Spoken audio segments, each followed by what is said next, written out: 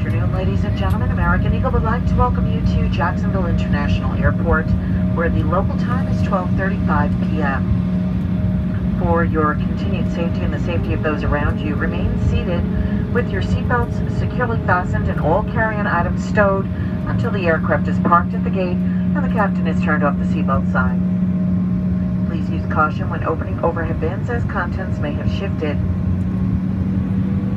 Smoking is prohibited until you have reached a designated smoking area. At this time, you may use cellular service. However, larger electronic devices must remain stowed. An American Airlines representative will meet our flight and be available for questions concerning checked luggage and connecting gate information.